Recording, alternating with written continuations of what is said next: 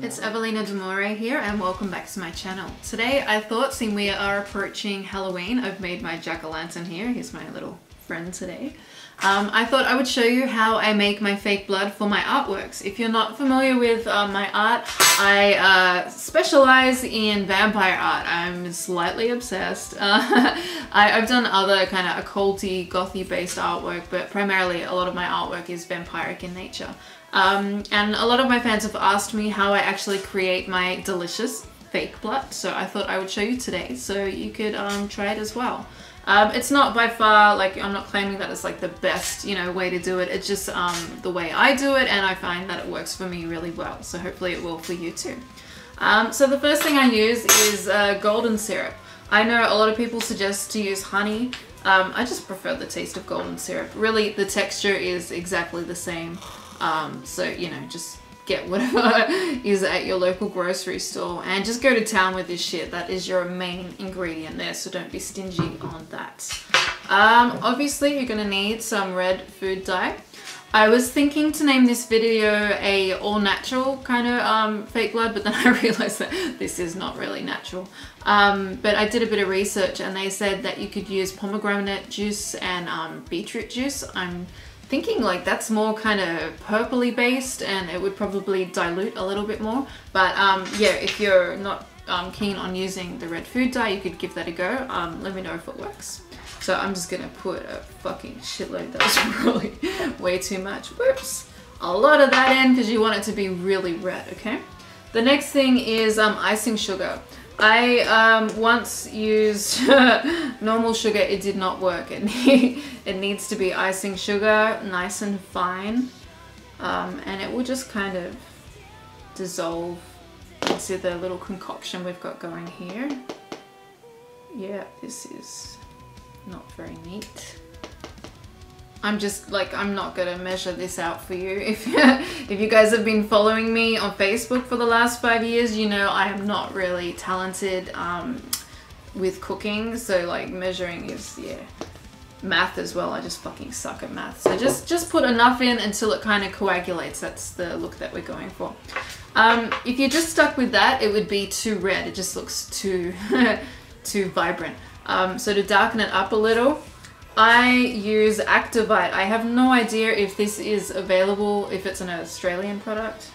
It does say pure Aussie goodness, so that answers that question. Um, I This is my favorite like milk drink, so I don't I don't know what you guys could use as a substitute, probably Milo, which is readily available. But a more sensible um, substitute would be cocoa powder. This just occurred to me. Um, because the next thing I was about to say is the Akta-Vite is obviously um, a little crunchy, so you just gotta kind of mush it up a little bit until it dissolves, and it will. Um, sometimes I use a sieve as well and just kind of mush it around, but yeah, it seriously just occurred to me yesterday that what I'm doing is converting it into cocoa powder, so idiot, could have just done that for five years. But I don't know if you can see, this is turning a really nice color now. But without the Akta-Vite or the Cocoa or Milo, whatever you're going to use, um, it's just way too vibrant red. It's more like the red you'll get if you buy the really cheap fake blood. It just, it's not realistic at all. Um, you just want to keep stirring this. Yeah, those lumps are not going away, so you might want to actually um, drip it through a sieve and get rid of all the little crunchy bits. And that's looking actually too runny, so if you get that, um, just add some more icing sugar into it. oh, there's no need to be neat, is there? Okay, yeah, that's looking good. Yeah. Mmm, I could eat this shit all day. it's not very nutritious. Who fucking cares about nutrition, right? Yeah. Alright, so that's really thickening up. And if you just keep like doing that same step of adding the icing sugar in, you'll eventually get um, a consistency that will not drip. Um, you don't want it to drip that much, so I'm just gonna add a bit more in again. Oh yeah. cool, cool, cool. That's looking good. Okay, so I'm gonna show you guys on myself how this looks And if you use my recipe for any Halloween fun, uh, please send me a photo. I'd love to see your work. So I like to put um, the blood in a little syringe. This is just a, a, standard syringe that I picked up at a drugstore, nothing fancy. Um, I used to put it on with a spoon, but it just wasn't precise enough and I just kind of got blobs of blood over um, the models. And, you know, with red food dye, you kind of only get one chance with that. So I like to position it um, exactly where I want it to fall. Um, so I'm just going to put it on, use this as a bit of a mirror. Mmm, now just eat it. Delicious. I've never done this on myself, so... Ha. Well, that looks quite cool. And you could say, oh, you just eat it. So, it's actually so yummy and it looks really cool if you're taking like shots and snarling and stuff. When, uh, get another drip down there. When it goes into the teeth, I like that. I wanted to put my fangs on, but I couldn't find them. I'm currently moving houses and yeah, it's hard to find anything right now. So I hope you enjoyed this tutorial and happy Halloween. See you next time. So my makeup today was actually inspired by a tutorial that I watched of a lovely girl called Vessel of Blood. Um, she's got some really cool videos, I'm really digging her and she's inspired me to buy a whole bunch of wigs because she just makes them look so awesome. So expect to see me with some crazy new looks um, in the near future.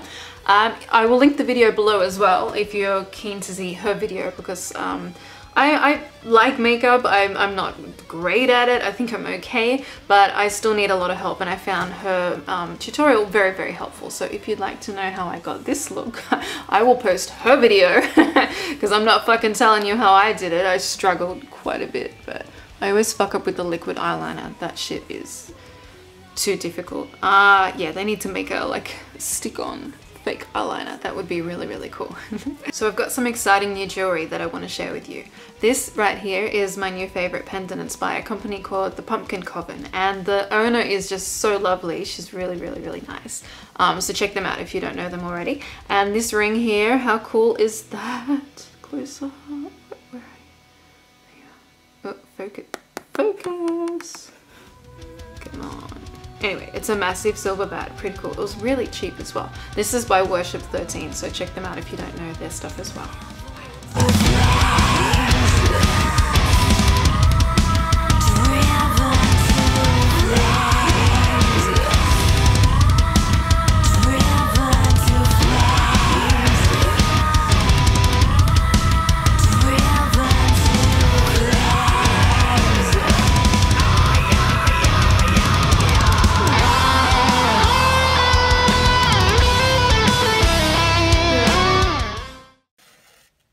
Try this at home, kids. But like I said, we filled the jack-o'-lantern full of petrol.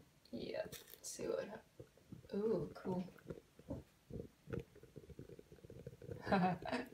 Demonic. What color is the flower? Purple. it's beautiful, isn't it? Do you want to give it to your brother? Aww. That's nice no? Uh, yeah, you like to see it. You like to see it.